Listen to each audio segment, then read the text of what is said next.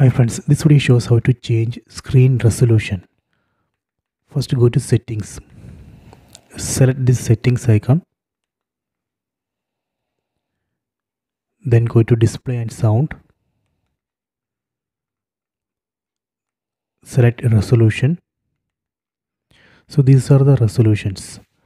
We can see 4K, 1080, 1080p or Full HD, then 720p or HD. So right now I have selected 1080p Full HD. So let me switch to 4K. So I am going to select 4K here. Then select OK. See now screen resolution has changed from Full HD to 4K. So this way we can change screen resolution. So let me go back to Full HD. Select Full HD then select ok done. So i hope you have enjoyed this video. Please subscribe my channel. Please like and share the video